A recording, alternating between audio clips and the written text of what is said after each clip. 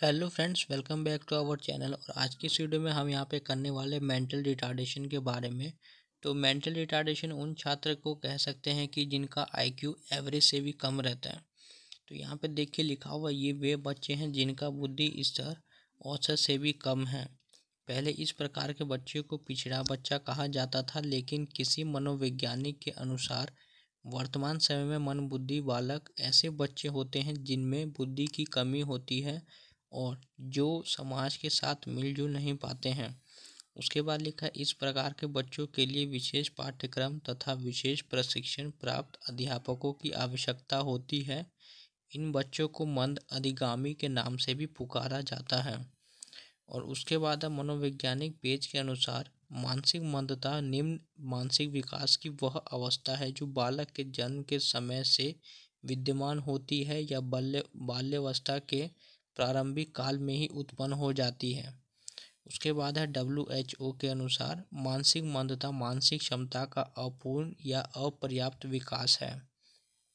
उसके बाद है मानसिक मंदता के प्रकार। तो मूर्ख मानसिक मंदता, मध्यम मानसिक मंदता और गंभीर मानसिक मंदता। तो मूर्ख मानसिक मंदता होता है, इसका बुद्धि स्तर पचास से पचहत्तर के बीच होता है। और ये छः कक्षा तक शिक्षा प्राप्त कर सकते हैं। मानसिक रूप से मानसिक मंदता बच्चों में लगभग पचासी परसेंट हल्के मंद हैं। उसके बाद है मध्यम मानसिक मंदता। इनका बुद्धि स्तर पैंतीस से पचपन होता है।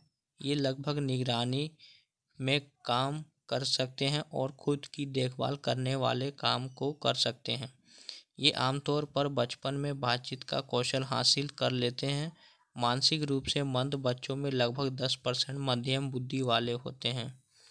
उसके बाद है गंभीर मानसिक मंदता। इनका बुद्धि स्तर बीस से चालीस है। मंद बुद्धि व्यक्तियों में से करीब तीन से चार परसेंट गंभीर रूप से मंद बुद्धि होते हैं। तो बुद्धि लब्धि यानी कि आईक्यू का यहाँ पे फॉर्मूला होता है। M A by C A into सौ। तो एम ए हुआ मानसिक आयु और सी ए हुआ वास्तविक आयु। तो इसको इंटू हंड्रेड कर देना है। मानसिक मंदता के कारण तो वंशानुगत पर्यावरणीय स्थिति, Down syndrome, hydrocephalus hydrocephalus Klinefelter syndrome, microcephalus और मैक्रोसेफेलस, और उसके बाद है cretinism amaurotic idiocy phenylketonuria, PKU, ये सब इसका कारण हो सकते हैं मानसिक मंदता के। उसके बाद मानसिक रूप से मंदबुद्धि बच्चों की विशेषताएँ। तो ये अधिगम धीमे करते हैं, इनका आईक्यू पचास से सत्तर तक होता है। ये स्वयं केंद्रित हैं, ये समाज के साथ आसानी से समायोजित नहीं कर पाते हैं। इनमें आत्मविश्वास की कमी होती है, ये भावात्मक रूप से अस्थिर हैं। इनके पास सोचने, कल्पना करने, विश्लेषण करने की क्षमता नहीं होती है। ये सब कुछ देर से सीखते हैं, जैसे बैठना, चलना, पढ़ना आदि। उसके बाद है मंदबुद्धि बच्चों की शिक्षा। इनके लिए अलग से पाठ्यक्रम चलाया जाना चाहिए। सह पाठ्यचर्या गतिविधियों को पाठ्यक्रम में शामिल किया जाना चाहिए। श्रव्य दृश्य सामग्री का उपयोग शिक्षण में किया जाना चाहिए। माता पिता के सहयोग की आवश्यकता होनी चाहिए। इनके लिए अलग से आवासीय विद्यालय होने चाहिए। प्रशिक्षित शिक्षकों को शिक्षक और प्रशिक्षण के लिए नियुक्त किया जाना चाहिए।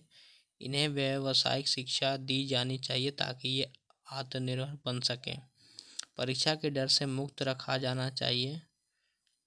और उसके बाद यहाँ पे निष्कर्ष निकल के आता है कि मानसिक मनता में बच्चे, सामान्य बच्चों से अलग व्यवहार करते हैं। किसी भी स्थिति में ये बच्चे सक्षम नहीं होते। ज़्यादा मानसिक मनता वाले बच्चे दूसरों पर निर्भर रहते हैं, बच्चों को विशेष प्रशिक्षण की आवश्यकता पड़ती है। तो यही था हमारा आज का टॉपिक मानसिक ममता मेंटल रिटार्डेशन इसके बाद में आपको दूसरा अन्य टॉपिक भी कराऊँगा जो इम्पोर्टेंट है। तो वीडियो को लाइक और चैनल को सब्सक्राइब करना। Thanks for watching this video